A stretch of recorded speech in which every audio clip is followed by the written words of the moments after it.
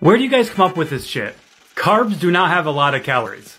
Carbohydrates have 4 calories per gram, the same exact amount as protein. Fat has 9 calories per gram. And then if you want to be technical, alcohol is technically a macro and it has 7 calories per gram. It's the quantity that matters. The dosage. I say this time and time again. The dosage is what matters.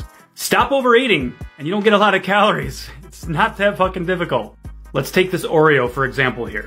Actually, let's take two of them because that's a serving size.